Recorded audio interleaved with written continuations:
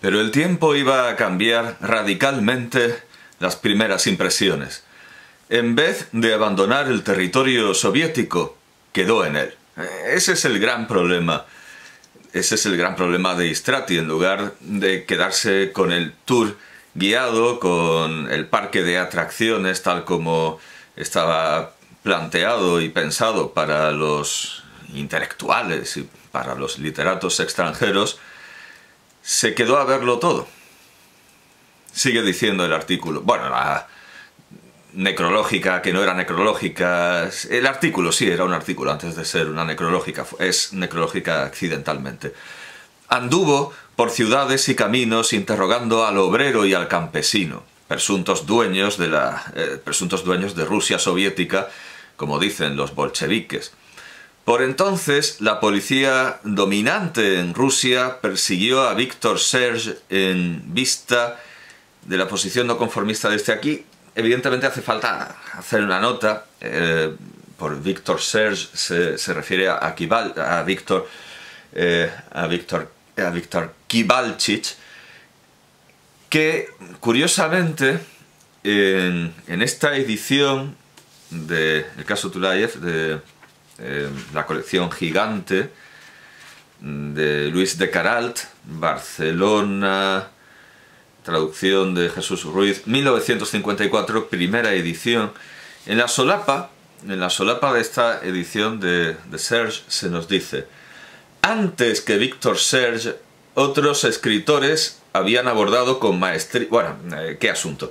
La Lo leo todo. La revolución devorando a sus propios hijos, movida por la inexorable rueda del destino. Este es el tema de esta apasionante novela, una de las más grandes producciones literarias de nuestro tiempo. Antes que Víctor Serge, otros escritores habían abordado con maestría tal asunto.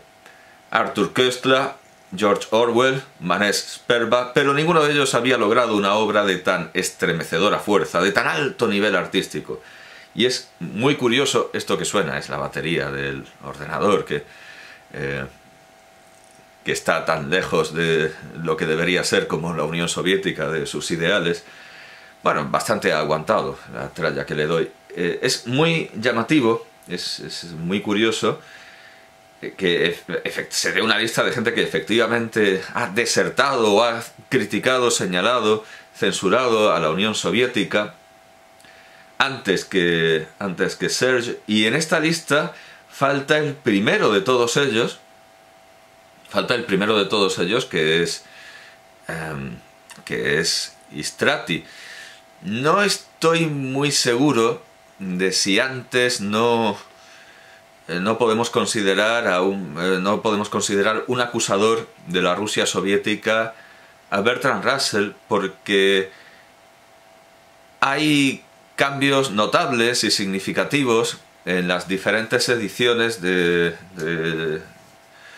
de, su relato, del, relato del viaje a Rusia eh, y especialmente de la entrevista con Lenin porque solo en una segunda edición, en una edición posterior, incluye el retrato, perdón, ahora soy yo el que no, el que no funciona como debería y no el ordenador, todos nos estamos haciendo viejos.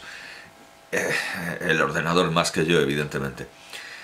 En el relato de la entrevista con Lenin, Bertrand Russell en una primera edición es bastante, bastante aséptico, bastante neutro, pero en, una segunda versión, en una segunda edición, cuenta cómo Lenin se ríe a carcajadas al contar cómo unos campesinos han acabado ahorcando a un inocente. Madre mía, este ruido es, preocupante.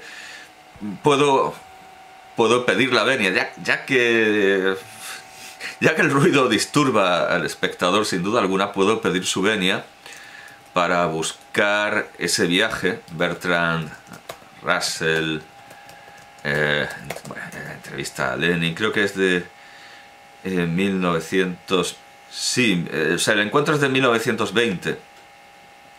Y, bueno, Lenin, una impresión.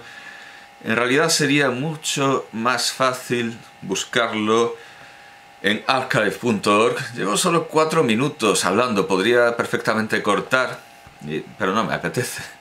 archive.org, así mostramos cómo se investiga.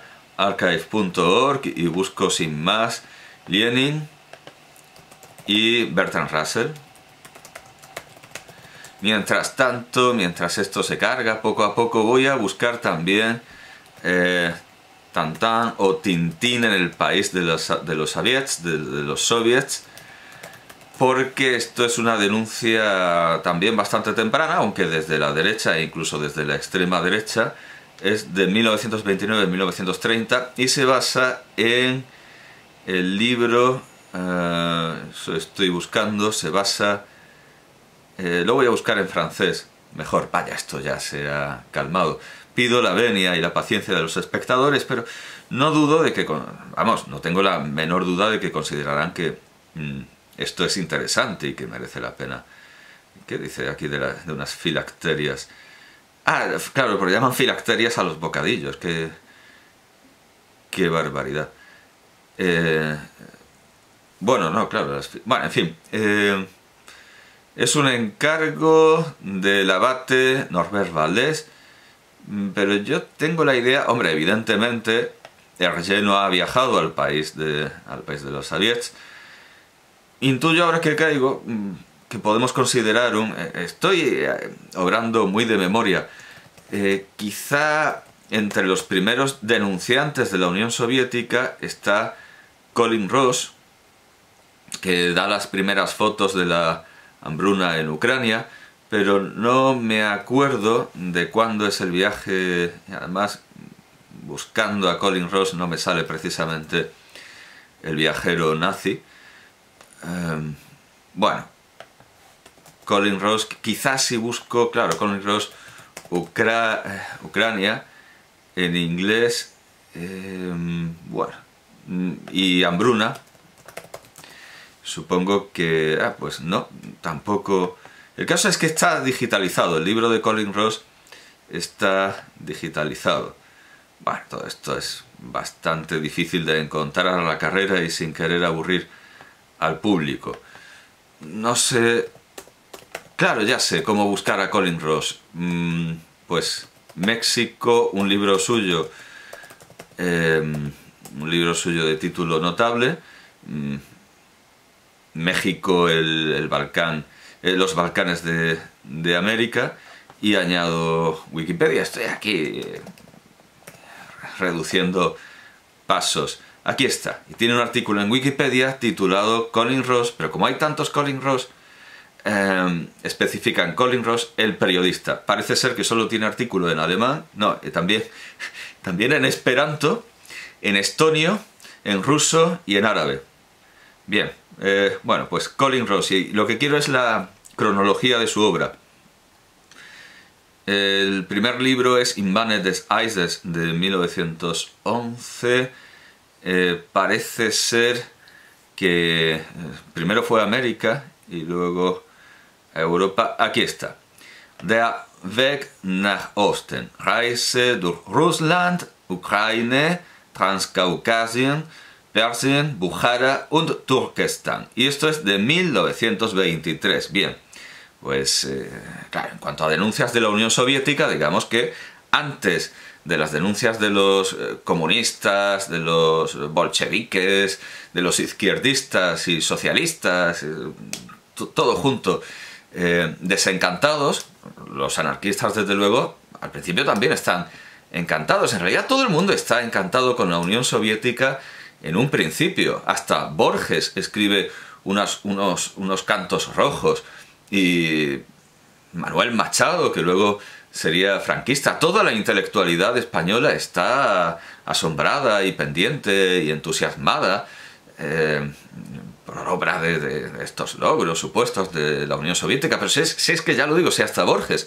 escribe unos cantos rojos de los que luego, evidentemente, obviamente por razones naturales, se arrepiente, como muchos otros entusiastas, como Istrati. Bien, en un principio todo el mundo está entusiasmado con la Unión Soviética.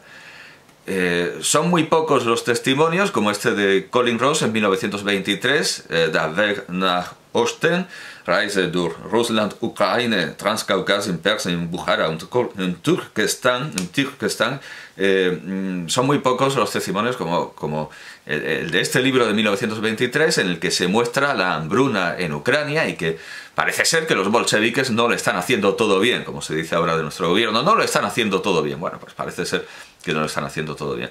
Esto es de 1923. El, el, álbum gráfico de Hergé, eh, antisoviético, antibolchevique, que como digo es un encargo de Norbert, eh, de Norbert, eh, del abate Norbert Vallès, es de... Eh, que ver con Gilles Vallès, porque se escribe con W y con dos L y con Z. digamos que supongo que es no, no voy a decir que es como nuestro Vallés, ni que sea un apellido catalán, ni nada parecido. Supongo que es un, es un nombre bastante flamenco, Valés. Bueno, el abate Norbert Valés. Entiendo que las fuentes de... Eso, es lo que estoy buscando. Entiendo que las fuentes de, de Tintín en el país de los Soviets es... Vamos a ver, buscar. Si busco la, propia palabra, ya está, ya está eh, ese sonido de Ah, vaya, pues es una cosa, es, una, es una cuestión bastante discutida por lo que veo, por lo que dice Wikipedia en francés. Em, las eh, investigaciones para encontrar las fuentes de inspiración del eh, célebre héroe son legión. Em, la relación con Totor, una, o sea, las aventuras de Totor, eh, que se publicó en el, eh, Le, Boy Scout Belge, el Boy Scout belga, en 1926. Pero eso es una historia también de Hergé. No, claro, lo que queremos saber... Lo que queremos saber es de dónde sale la información de Hergé sobre la Unión Soviética, pero me parece que no, está hablando de la está hablando de la propia fuente del personaje. Entre, claro, eh, desde ese viajero sueco que dio la vuelta al mundo, ese joven viajero sueco que dio la vuelta al mundo, hasta, por supuesto, el nazi León de Grel, eh, que escribió aquel, famoso libro una vez muerto Hergé, eh, Tantan Compagne, Tintín, mi, mi, colega, mi compañero, según el cual Tintín era él, con ese flequillo. Claro, no sé qué fue antes, el flequillo de León de Grel o el flequillo de Tintín en sí. Pero lo que estoy buscando es la, fuente de conocimiento de, de, Hergé sobre la Unión Soviética, si no es ya que directamente se lo haya inventado todo, vamos, que no, que no lo creo. Eh, todo esto me, lo debería haber preparado mejor, eso desde... Luego, mm, vale, sí, aquí hay una... Eh, Robert Sexé, o País de Soviets, de Jean-Paul Schultz, eh, y parece ser que, así por resumir mucho, podríamos decir que la fuente de Tintín en el país de los, los Soviets es, es esta aventura de Robert Sexé, que es un aventurero y motero y fotógrafo y globetrotter, eh, nacido en 1890, muerto en 1986, que tiene, vamos a ver, Que en 1925 participó en el, dicen aquí en el temible, dicen en Wikipedia, en el temible circuito de los de los de los soviets, hombre, imagino sí, es muy temible, a lo mejor acababas en Siberia, no, no lo sé. Bueno, pues entiendo que de estas aventuras en Rusia mm, sale el Tintín en el país de los, de los soviets. En todo caso, es, una, es un álbum de 1929, aunque parece ser que terminó de salir, eso es en mayo de 1930. Bueno, aquí tenemos una denuncia paralela y contemporánea, eh, contemporánea con respecto a la de Panay Strati, pero evidentemente desde la derecha. En cuanto a la visita de Bertrand Russell, pues ya digo que es de 1920, esa entrevista con Lenin, pero eh, sí, tenía pendiente eso, tenía pendiente buscar buscar la edición en la que se amplía, esa eh, se amplía ese relato de la entrevista con Lenin y esto va a ser un poco complicado porque aquí hay una versión de la práctica y la teoría del bolchevismo de Bertrand Russell, pero es, un audiolibro, esto es un audiolibro. Entonces quizás si busco... no lo sé, si busco... Eh, si busco ahorcar en inglés... Em, no, esto va a ser... Esto se ha atascado.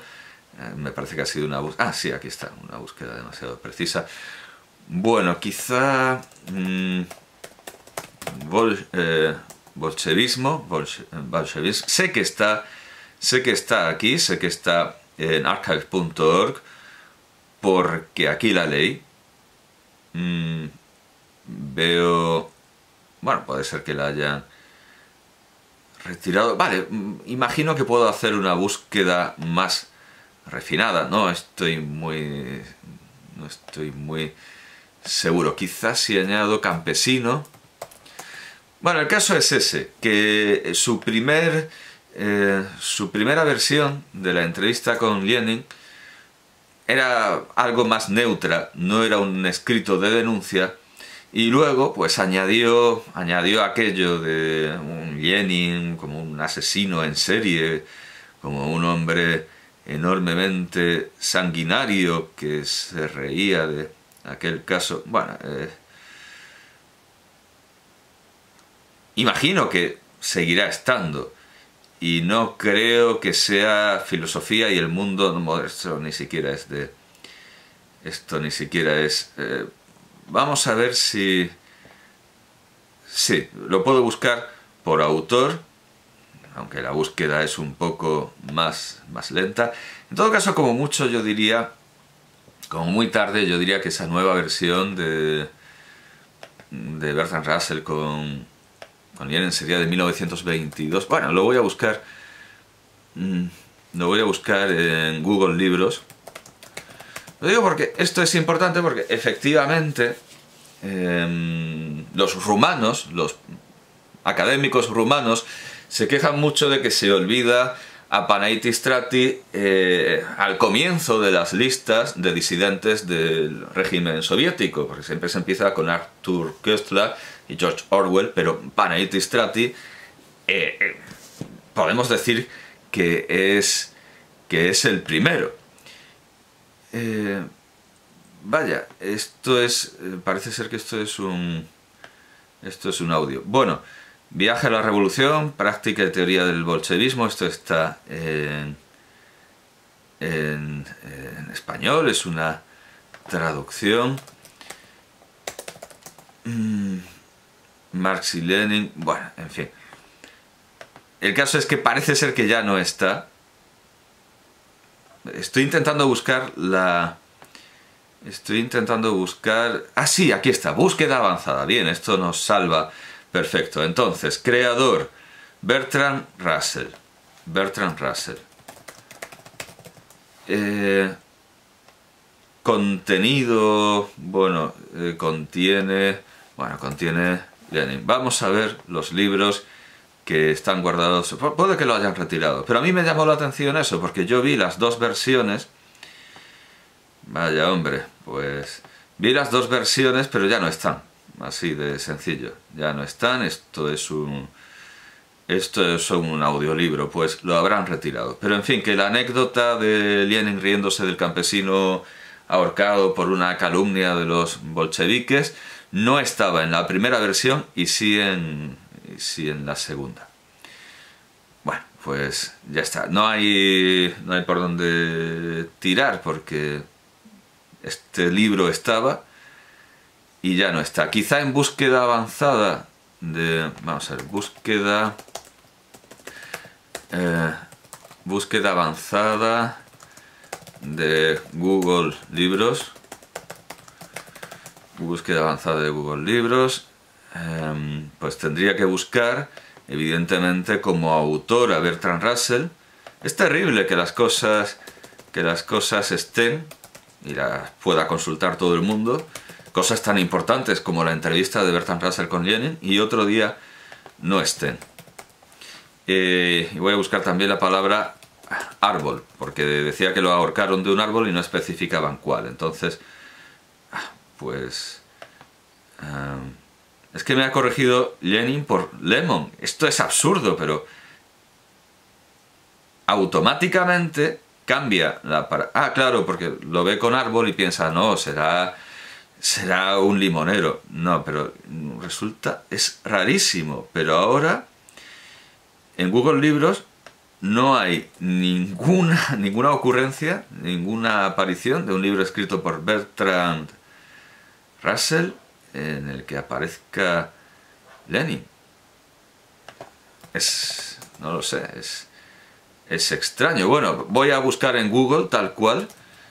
Estaremos asistiendo a una especie de, de censura prosoviética, una Bertrand Russell, Lenin, eh, eh, y colgando de un árbol. Estoy todavía en libros, pero... Mm, estos son eh, diversos libros. Bueno, vamos a ver. Hay, hay gente que cita este libro. Vamos, que el libro, que el libro existe. Ah, pero no se puede ver esta página. Mm, estamos asistiendo a una debacle, a una auténtica... Vamos a ver, Lenin y lo del árbol. Vamos a ver. Eh, bueno, aquí está el pasaje. Vale, eso ya nos ayuda un poco. Y está en Twitter, vaya, está en Twitter. Eh, lo han preservado en Twitter, así como una especie de Atlántida que... Vamos a ver. Eh, hemos alzado a los campesinos pobres contra los campesinos ricos y, los han colgado ah, y los han colgado eh, muy pronto del árbol más cercano. Bueno, pues voy a buscar esta frase tal cual que, o sea, lo que intento demostrar es algo bastante elaborado y difícil, que es que esto no estaba en la versión original. Mm, vamos a ver. Yo esto lo he visto en el libro original, no en Twitter. Vaya, pues eh, está en en, un archive, pero que no es que no es archive.org, que es archive Macleans. Eh, vamos a ver. Bueno, solo puedo pedir la fe del, del espectador. Ya lo digo, yo, yo he visto las dos ediciones y en uno estaba y no y no estaba. Eh, bueno, aquí están las citas. Eh, bueno, Russell critica a Shaw, a Bernard Shaw, porque dice que eh, es una persona grata, es una persona grata en, Rusia, en, la Rusia soviética. Ah, bueno, puede ser que esto proceda de un, de un libro de entrevistas y por eso no tenga como autor a a Bertrand Russell, pero no estoy muy seguro. Bueno, voy a buscar el texto completo. Lenin, lo encontré, eh, me encontré con él en 1920. Hablaba inglés mucho mejor de lo que eh, cabría esperar, de lo que uno habría esperado. Mm, acabé menos impresionado por Lenin de lo que esperaba. Era, por supuesto, un gran hombre. Parecía una reencarnación de Cromwell con exactamente la misma limitación que tenía Cromwell. Ortodoxia absoluta. Bien, voy a buscar esto, a ver si encuentro el libro, eh, pero ya lo digo, y al final mm, aplico la fe. Lo de, eh, eh, lo de colgar a los, a los campesinos es increíble, pero sale Twitter antes que cualquier otra cosa. Lo de colgar a los campesinos ricos, lo de... no estaba en la primera edición. Bueno, esto es más, terrible. Bueno, que investigue el que no tenga a un autor rumano que, que presentar. Pero hago notar esto. Yo he leído las, las dos versiones, o he leído dos versiones, y en una estaba y en otra no. Bien, seguimos con este artículo de la revista Blanca. Em, por entonces la política dominante en Rusia persiguió a Víctor Serge en vista de la posición no conformista de este. Pero luego resulta que Víctor Serge aparece presentado como alguien que va a la zaga, va, en zaga de, de por ejemplo. Curiosamente olvidando a Panayiti Strati, que es anterior y mejor escritor y por supuesto mejor persona que Kessler, aunque eso no influya, pero es alguien mucho más ético que, que Kessler. Y es anterior, no voy a decir que sea desde luego mejor escritor, sí que anda a la par, pero eh, es anterior a Orwell. Istrati consideraba a Victor Serge como un verdadero revolucionario y no tardó en ponerse en guardia contra las, eh, contra las maniobras gubernamentales de los soviets. Quiso andar y ver libremente, juzgar por su cuenta prescindiendo de guías oficiales. Consiguió el propósito. Las impresiones primerizas quedaron rectificadas tras una campaña depuradora de seis meses y Panait Istrati se reintegró a Francia. El mismo peregrino que invitara a su amigo Jourdain a que se trasladase a Rusia para fortalecerse en el mar de generosa y activa confianza, que es la, todo esto es cita de Istrati, para fortalecerse en el mar de generosa y activa confianza que es la Unión de Repúblicas Socialistas Soviéticas, era un desengañado más. Había salvado el escritor su carácter de la gangrena que le amenazara en Occidente huyendo de amenazas, tuvo que salir de Rusia, porque Rusia, eh, perdón, porque en Rusia se asfixiaba, como se, eh, como se asfixian allí los que luchan y esperan. Tres libros salieron al palenque de la crítica. Uno de estos libros fue escrito por Istrati, además de hacerse responsable de otros dos, debidos, según se dijo, a Victor Serge y a Souvarin. La, bueno, eh, Souvarin, eh,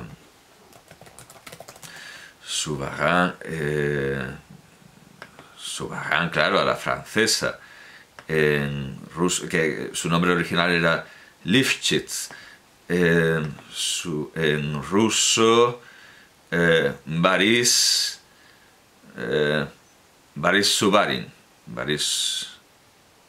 bueno, vaya, no pone no pone la acentuación en Wikipedia en ruso. Bueno, Subarin. Entiendo que no es Subarin.